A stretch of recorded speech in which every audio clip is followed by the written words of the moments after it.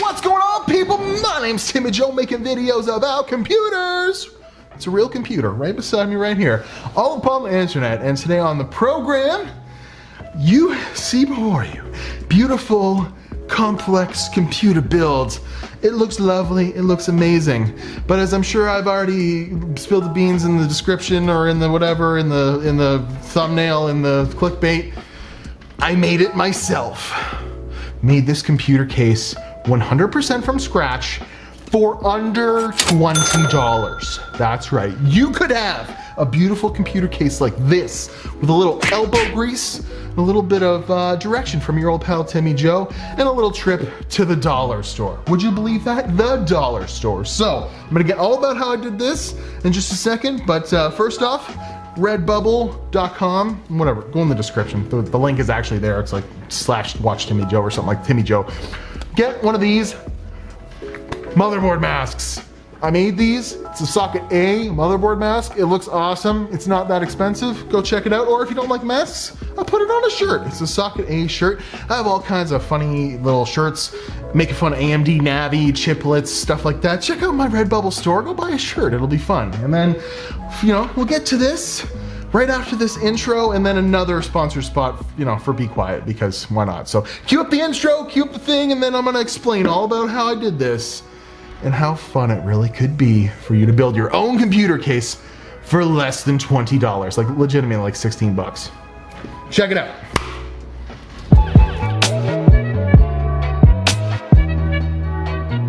The Pure Base 500 DX by Be Quiet is optimized for high cooling performance and is designed for those who seek low noise and high airflow all in one budget friendly chassis. The high airflow mesh intake allows the three included Pure Wings 2 140mm fans to silently cool your PC components, while the ARGB light strips at the front and interior of the case give your build that look you've been looking for. More information on the Pure Base 500 DX in the description, and thanks to Be Quiet for sponsoring this video. Okay, we start off with some very basic materials. A sheet of acrylic I already had cut out from another build, some push pins, some tape I didn't use, this poster board. Uh, I only used three sheets of this stuff and I got it at the dollar store as you see, and they had black and white, so you could choose the color of your build. Maybe there's even some other crazy colors out there, but this stuff's only a dollar twenty-five each and I used three sheets. There's a rough dimension, rough, you know, uh, dimensions of what I wanted to cut out, but uh, based off another case, but I had this acrylic and I was using it kind of as the template because uh, I had it from another build. But uh, there we go, cut this out and just want to go nice and slow with the razor blade. Want to make sure you get nice clean cuts. And then you just start uh, kind of retrofitting everything together. And uh, what I started using was push pins to kind of hold everything in place. That way I could mock things up and make sure that you know nothing was too big, too small. I didn't need to recut something uh, you know before I started gluing everything together. And we see got the acrylic on there. It's starting to look really nice, and it's actually pretty structurally sound with uh, the push pins on there. So uh, I start, you know, making a basement, and uh, you know, I really just made things up as I went along here. You know, see, I'm just making cuts based on you know whatever I thought would look good, and you can see it's really starting to come together. And uh, cut a little uh, slot out for an AIO if you needed one, some rads in the front of the case, just like a standard thing. And then I cut out the back there to get a perfect little basement. And then I started cutting some other holes out, you know, some access holes for some of the cabling and stuff like that. Get the motherboard in there, you know, cut out the I.O. shield spot. And then I used a power supply bracket from another case just to make things easy for myself, get a little cutout there, and uh, a fan cover I had made before. I used that just as a template to get a nice round hole and uh, everything's really starting to come together. I got the graphics card in there mocked up where I should cut out a PCIe bracket and uh, tried to kind of figure something out to make this structurally sound, but uh, get everything back mocked up together. And now it's time to uh, look at the front panel for the fans. I use the, these nice round fans. They're really easy to do some cutouts with and just, you know, real careful with the knife, get some nice holes. And you map everything back up together, make sure everything's fitting nice, and uh, we can just start putting things together at this point. But look at that, nice glue, and this glue, hot glue, held everything together really, really well. And I used uh, just some pieces, random pieces, glued them together as some feet on the bottom of the case. I'd already cut out a spot for the power supply there, and then I'm using the fans as a template to cut the holes out so I could put them in place there with some screws and uh, check out the acrylic for the front. I had this piece uh, lying around too, and I just had to make a quick cut on it. But uh, see, we used some standoffs from some Noctua coolers get that all just screwed right in there. It went together super, super easy. Get the back fan in there, and uh, now it's time to do some cable management and actually assemble the whole case here. So uh, it's flimsy, and you gotta really be careful, and I just used screws right through the motherboard, right into the, the, the foam board, and everything seemed to work out fine. You know, a heavier cooler might have been, you know, a bad idea, and this power supply, you know, kind of heavy in there too, but uh, as long as you're really careful, it came together really nice. Nothing tore, nothing broke.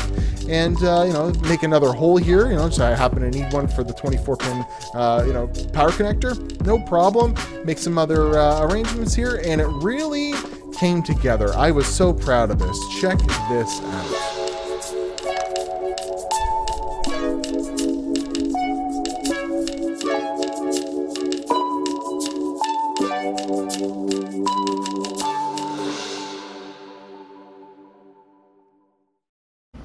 Wasn't that fun explaining how things all went along here. And uh, you know what? It, it looks amazing and it like, like it's legitimately like pretty solid. I am not joking when I say that if you're on a tight budget, maybe you find, you know, you don't use the components I've gotten here, well, some of them anyways, but you want like to build a computer case on a budget because you went and got some used parts, you know, the mishmash of parts or whatever, and you're just looking for something. I see some of you guys email me these like old abomination of like uh, HP computer cases you've sawed into just to get your components to fit in there. This might be like a legitimate option, and all it takes is a quick ride to the dollar store. So to start off here, this all stems from me wanting to uh, one up a Linus video. I know, I know. Uh, but I saw them build computer cases out of cardboard. Him and his cronies had like a competition who could build the best one. And I was like, those look like crap, kind of. And I think I could make that look way better. So I challenged another YouTuber to a build off in a in a cardboard computer case, and then he kind of bailed on me because he's too busy right now he might make one later on. He was pretty impressed when I showed him this. But uh, I, I, was thinking yesterday about the cardboard and how that would be like kind of gross looking, and you know maybe I'd spray paint it to make it look better, or glue some I don't know fabric on it or something. And then it came to me, Bristol board. This stuff here comes in white and black actually, so you could have made a black one. It's fairly strong and it holds together very nice. It's better than cardboard because of the corrugation in cardboard. It like really creases easier. This does not crease. Buck 50 a sheet. A buck 50. I bought six of them. I wound up using three of them. I probably could have used two of them. So there's $1, $2, $3, 4 450 I'm at. Not bad. And then what else did I get at the dollar store while I was there? Push pins came in a hell, you know, re real handy when I was putting this thing together, mocking it up. And uh, you know what? It's like what dollar twenty-five. So you know that, that that's nothing. And then I bought some screws at the hardware store for a dollar. And then you know you need to get like a pretty good X-Acto knife. You can probably find that at the dollar store. And then held all together here with hot snot. Believe it or not, hot glue. You probably buy a hot glue gun at the dollar store, I would bet. So totaling about $16 in materials and like, you know, glue gun, glue, stuff like that, you could get this going on. And how did I make it? Well, I did copy the dimensions of another case. I had, you know, that Be Quiet case. I just, you know, I was like, eh, and I had this panel already cut out. So I wanted to use that and I've, you know, made it work with the dimensions that I had. But you could like go online and find your favorite case and then find out the dimensions of it. They always list them on the product website. So it's not like you have to have the case to try and mock something up from your favorite company or whatever. People were saying this looks like an NZXT case or maybe a Corsair Crystal case on Twitter when I sneak previewed this thing. And I legitimately like, thank you, because that's what I was going after. It looks really awesome. Got that nice uh, acrylic in the front. So, uh, you know, all the trip to the dollar store, and then you need the acrylic, which I covered in another video. $8 a square foot, I can get it cut up at my local hardware store. So, uh, basically, like, there's like $12 worth of acrylic on here that they pre-cut. Well, like pre-cut this front panel from a broken one that I had done before. And then, you know, some screws, a couple of hardware bits I had lying around, and voila, the case is built. I really just kind of went, as I went along, I just kind of like Jimmy rigged it or I like winged it. cut things out. I'm not really a plan kind of guy. I like to just build, and if something doesn't work, I'll recut it. It's fine, you know, and that's what happened here. And it essentially looks like a real computer case, does it not? Got some ARGB fans in the front, in the back. As far as cooling is concerned, or if you're a little bit worried, I got Heaven running here and it's been running for a while. We got a 1600X running at 4 gigahertz here. It's, uh, well, it's at like 70, 70 to 80 degrees. But that's because I only have the Wraith Stealth on it because I was a little worried about putting a big tower cooler in there with the weight that the graphics card already had. So uh, I have an anemic fan on the CPU. It's not really its fault. There is heat coming out of here though. We got three big fans intaking and only one out. And I kind of did that on purpose with a little bit of holes I put around the graphics card area. The graphics card is running at uh, 71 degrees, so perfectly fine for this RTX 2080 Ti. And I feel a little bit of heat coming out of those bottom vents. Got the nice Be Quiet power supply in the power supply basement, and everything's pretty rigid. And I was just able to like, you know, mock things up and screw holes through the peg, the, the foam board and, uh, you know, secure it all together with the uh, little push pins here. And then uh, once I was ready to go, I just put some hot glue in every single corner. The hot glue doesn't really look too bad because it's see-through and this is white. It might look a little bit worse if it was using the black version of this uh, foam board, but uh, I think it really turned out amazing.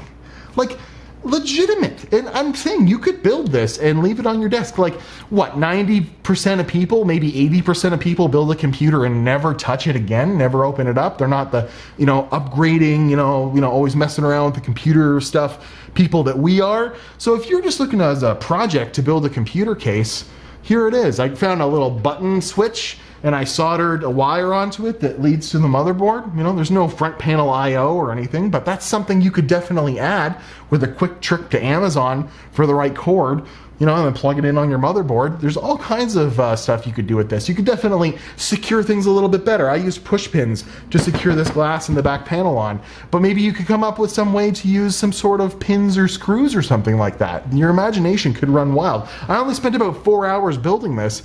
You could spend six and have a legitimate, really awesomely constructed computer case and like for legitimate, like legitimate, under $20.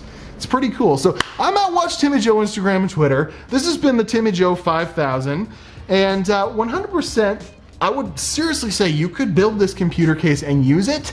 And I mean, unless your computer components are getting to the you know temperature level of combusting paper, which they should definitely not be getting that hot, then there's no real risk or problem, you know, as long as you make some airflow and make it happen. I've seen way worse from you guys sending in like, you know, cardboard box computers, you know, uh, shoebox computers and stuff like that on my uh, Roast My Rigs episodes.